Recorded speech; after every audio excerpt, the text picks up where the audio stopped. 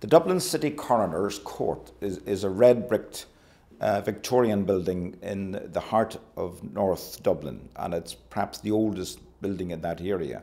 But it is uh, a, very intimate courtroom where the coroner, they talk about nothing but death. There is no happy ending in the coroner's court. Uh, it is scary because you can sense the presence of the dead person whom, whose particular inquest is being, being held.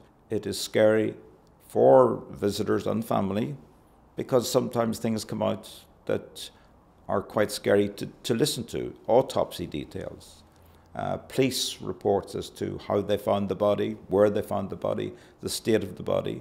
When it's your own flesh and blood, uh, it's very harrowing to hear it described, and you need a strong stomach for that.